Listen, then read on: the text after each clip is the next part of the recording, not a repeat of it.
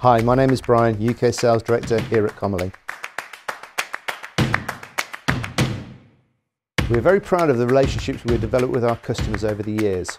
But in a competitive market, those relationships and support we give need to evolve to be successful.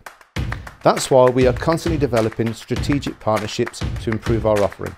Take our new finished product division for example, developed with our trusted partner AMK, a glowing example of collaborative working. So why not come along to Kommerling at the FIT show in May to see what we've been up to.